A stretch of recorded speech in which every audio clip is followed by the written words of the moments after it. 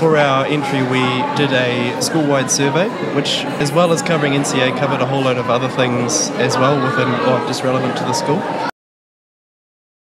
So we took them mostly from the ministry's website, and um, yeah, and then we also came up with a whole bunch of different ones.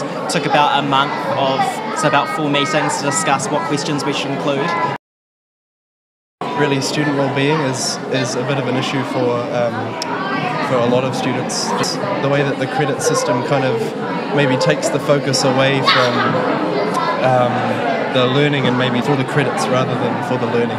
People really do not like exams. That having an entire year's um, entire subjects learning condensed into a three-hour spot where that's what you're assessed on instead of throughout the year, people don't like that. So there should be people think that there should be more emphasis on internals than on externals.